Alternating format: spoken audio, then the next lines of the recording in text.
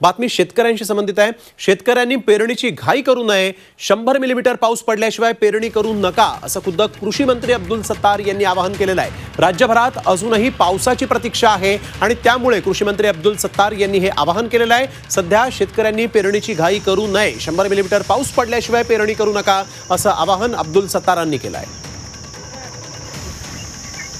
आता जो पाऊस पडू लागला त्यासाठी जोपर्यंत शंभर मिलीमीटर पाऊस पडत नाही तोपर्यंत शेतकरी बांधवांनी पेरणी करू नये. अशी विनंती आम्ही आपल्या माध्यमातून करतोय.